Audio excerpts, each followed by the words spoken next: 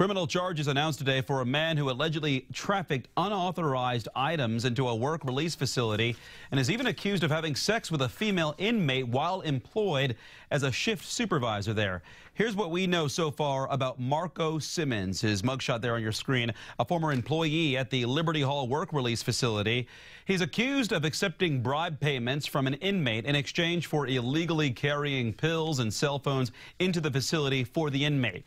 Simmons is alleged to have trafficked a cell phone and 100 placebo 20 gram milligram OxyContin tablets into the facility. He's allegedly also accepted $700 in exchange for those items. Simmons was arrested yesterday. He's charged with numerous felonies, trafficking with an inmate, bribery, sexual misconduct, and official misconduct.